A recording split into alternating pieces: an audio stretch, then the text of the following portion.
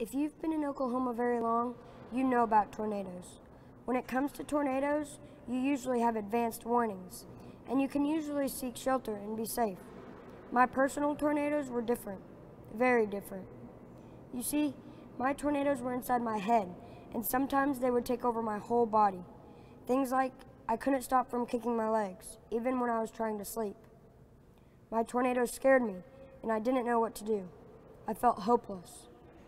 My tornadoes would cause me to be super stressed and not let me focus on just one thing. It was hard for me to make friends because no one really wanted to be around me, and I couldn't sit still or stop worrying. It felt like something bad was always going to happen to me, so I always needed to check the doors and windows to make sure they were locked and that we were safe.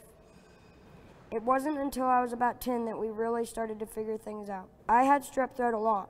My mom said the first time I had it, I was about three, and I had it a bunch after that, too. My doctor started thinking that maybe the strep was causing my tornadoes in my mind. When we started to figure it out, we did lots of blood tests. My mom said I had super high strep levels and that I should be in the record book. After all the tests, my doctors confirmed that I had pandas or PANS. I really like to say what it stands for because it makes me sound super smart and scientific. PANDAS is short for pediatric autoimmune neuropsychiatric disorder associated with streptococcal infections. It seems like after I started antibiotics, things started to get better. After a while, my tornadoes were gone, and I began to feel normal.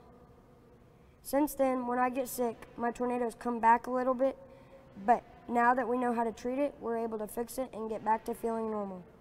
Thank you for letting me share my story.